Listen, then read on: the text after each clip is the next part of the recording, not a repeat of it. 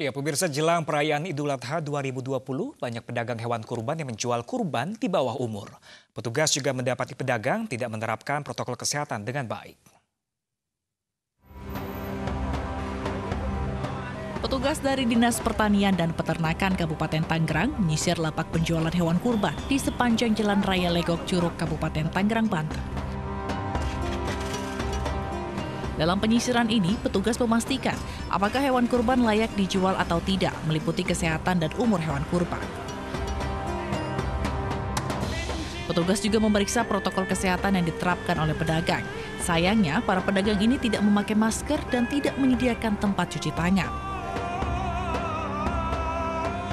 Petugas juga menemukan banyak hewan kurban di bawah umur atau belum layak kurban yang dianggap tidak sesuai dengan syariat Islam, meski dari sisi kesehatan memenuhi syarat.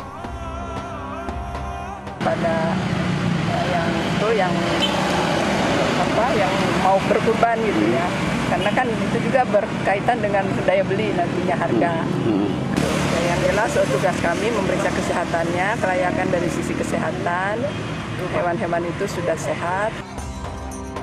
Sementara itu pada Idul Adha 2020 ini penjualan hewan kurban menurun drastis akibat pandemi COVID-19.